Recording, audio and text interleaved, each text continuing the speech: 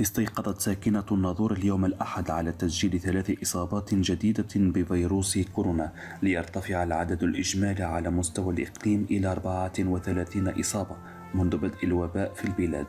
وذكرت مصادر مطلعة أن الحالات الثلاثة المسجلة اليوم تتعلق بثلاثة أشقاء من أسرة واحدة تقطن بدوار ولاد منصور بجماعة ولاد ستود.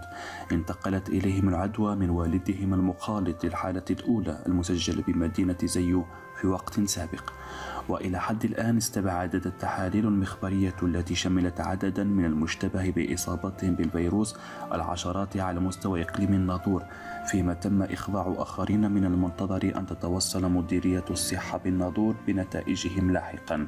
وتهيب وزارة الصحة بكافة المواطنين الالتزام بقواعد النظافة والسلامة العامة والانخراط الإيجابي في التدابير الاحترازية التي اتخذتها السلطات المغربية لمواجهة انتشار جائحة كورونا بكل وطنية ومسؤولية.